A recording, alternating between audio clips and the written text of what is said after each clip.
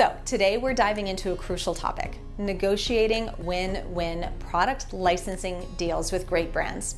Hi, Lisa Lloyd here with more tips, tricks, and strategies to optimize and accelerate your invention licensing success. YouTube is an awesome free way to learn, folks, and you can support me making more free videos like this one when you like, subscribe, and comment below. First, though, let's get on the same page about product licensing and what it is. Essentially, when you allow a company to make and sell your product, and you do that in exchange for royalties, that happens with a licensing agreement. It's a win win because you get to focus on what you love doing most that front end innovation and inventing products while the brand handles all of that manufacturing and the marketing and the distribution and all that other back office stuff.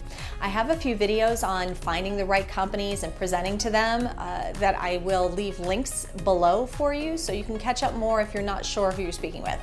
But I hope that you are already doing research on companies that you are pitching your product to. That research will not only prepare you for the pitch, it will also set you up for negotiating that win win deal when you have a grasp on what that company sells and how they claim to be better than all of their competitors. So it's important to do your homework, not just for presenting, but also prepping for negotiation. You will understand their product lines, their market presence, and even have an awareness of their company culture potentially, right? That could be very useful. The more that you know, the better that you'll be able to tailor your negotiations to align, just, you know, line right up and align with their goals. So get under the hood and take some notes on number one, the company's background, their entire product lines, their market share, and then go to their About page and see what else you can find out, like maybe even their company culture. Remember, you will be negotiating after doing your compelling presentation of your product, and hopefully, you've highlighted all of the unique features and their benefits and the market potential. When you show them how your product aligns with their brand based on that research during the presentation, right? You are already laying a strong foundation of value for negotiating later when and if they are interested. So, Prepare well to tee up your success. Next, you also need to keep in mind that negotiations aren't just about getting the deal, they're about building relationships. Building a rapport with a potential licensee is crucial. Find common ground and establish a connection. People are more likely to do business with someone that they like and trust, right? I know I am.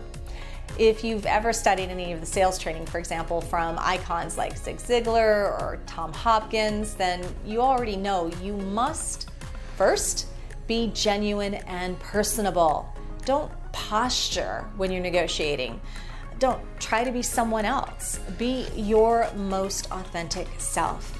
People will relate to you more and even want to help you when you struggle as long as you're being honest. Then find common interests as it relates to what they do. So, for example, if you're talking to a vice president of marketing, tell them how they must have the greatest job in the world and how envious you are that they get to look at new products all day, every day. You could also build a rapport by showing appreciation for their work. Be respectful of their time and let them know how much you appreciate the role that they're in and the responsibilities that they must have. Building rapport is valuable whether you get a deal or not that relationship could very well turn into many more deals in the future. Now, when negotiating, you must listen more than you speak. and I know this can be hard, especially if you're like me and you talk more when you get nervous. But you need to understand what the brand needs and how your product fits into their strategy. So ask open ended questions to uncover what their priorities and their concerns are. For example, you could ask, What are your current product challenges? Or what's hot or trending? How do you see my product fitting into your lineup? What would your primary goals for this product be? Open ended questions give you an opportunity to learn with deeper or richer answers because they unpack the answer as opposed to just asking a yes or no question or just telling them what you want, right? Makes sense. If it doesn't, please leave comment a question or a comment below. I'll dial it in more for you, I promise. It's also more conversational and it continues to build mutual respect when they believe you really want to help them, not just sell them, right? Now, when it comes to actually negotiating the terms, aim for a win win outcome. Be clear about the expectations and flexible where you can be. Discuss the key points such as royalty rates, payment terms, and the duration of the agreement.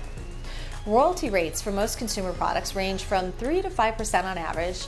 I've seen them as low as 1% and even as high as 10%, but those are very unique circumstances. On the lower end, they better have a good reason for you to be able to accept that. On the higher end, they just need to be able to justify it financially and to be fiscally responsible. The terms of the contract can also vary. Some companies will want to do a short term agreement, like a few years, with the option to renew, but most larger companies will want to do it for the entire term of your patent. They may choose to license exclusively or on a non exclusive basis, but most of the time they will want an exclusive. Let's face it, the competitive advantage that you're offering them on an exclusive basis just makes more sense. Now, exclusive agreements typically come with a minimum payment guarantee. After all, they are asking you not to let any of their competitors have it. So you need to have some sort of a guarantee in place that you will get paid enough to offer it to them exclusively.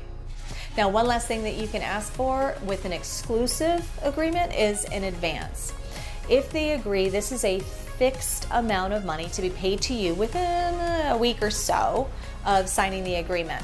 These are not as common, but I have been able to do this on every single invention, so it's definitely possible. All of these terms are open to negotiation and should be thoroughly discussed. If you are not satisfied with their offer, but you understand their perspective because of that dialogue, then you can either present a well reasoned case for terms that you prefer, or you can accept their offer because it just makes sense in light of the facts or whatever data they have given you. So that's why it's called a negotiation. It's not just a transactional deal. Without a healthy and respectful conversation, you won't know what is important to them and you'll be unable to strike terms that are meaningful for both you and the company. Now, my last tip for you is on hiring attorneys. I'm often asked by inventors if their patent attorney can do all of this for them. Well, as long as you hire an attorney with specific experience negotiating licensing deals in consumer products, it's fine. Otherwise, I wouldn't recommend it. A good attorney will do everything they can to insulate you and protect you from lawsuits, for example. And in telling you all the things that could go wrong, it can very quickly blow up a deal. I've seen this happen too many times. Well, I've licensed all eight of my products without an attorney and helped thousands more do it themselves over the last 30 years. So it's worth learning how to effectively communicate in the negotiation process and then seal the deal on your own. Now, what you could do is go through all of the negotiations on your own and then show that agreement to a contract attorney, for example, to make sure that you understand all the terms and conditions, the language, and the implications of that language. And then go back to the company if you have any concerns after that. Now, negotiating a licensing deal can be challenging, but with the right preparation and approach, you can strike a winning agreement for both you and the brand. Not to mention a long term relationship with them for many more deals in the future. If you found this video helpful, give it a thumbs up and don't forget to subscribe for more tips on bringing your inventions to life. Or drop your questions below. I read and answer everyone and we'll get back to you if you have any questions. Dare to dream and imagine what's possible when powered by innovation.